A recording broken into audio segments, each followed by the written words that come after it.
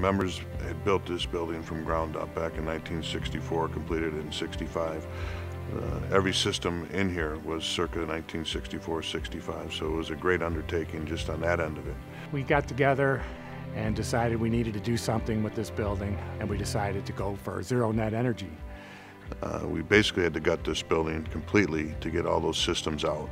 Uh, but the focus was to make this uh, zero net energy, high efficiency, but also to maintain some of its original integrity. To get uh, into zero net energy, we first thing we did was we knew we had to insulate the building.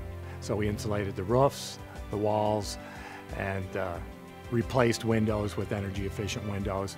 We decided to use geothermal heating and cooling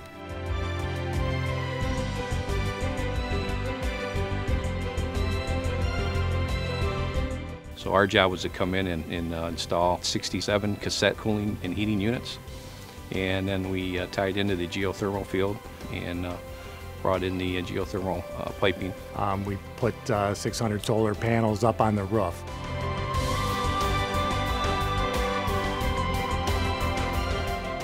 All of that had to be laid out on the roof. So all the racks had to be built, set in place. It's one of the larger installations on a building that we've done on a rooftop. Uh, we put all LED lighting in throughout the building. In concert with the LED lighting, we employed uh, electronic devices such as occupancy sensors.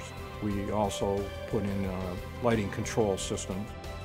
Uh, the idea here is to kind of showcase what uh, our members are trained to do and what we're trying to pr promote in the market, and that's energy efficiency, so it's one of the things uh, that became a focus when we started to look at what we need to do here at the building.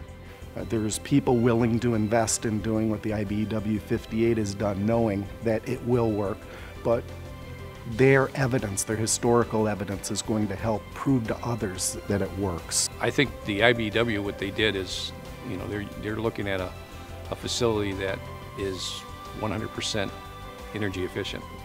I would argue we're the leaders in this. Our members have been trained, our contractors have been educated uh, in how to promote and bid these projects. Uh, we, we teach the advanced training at our training center.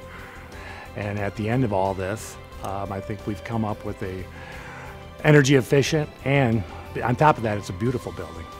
It's something that we can showcase to our clients. I think at the end of the day, there's not too many like this right now, and hopefully there'll be more.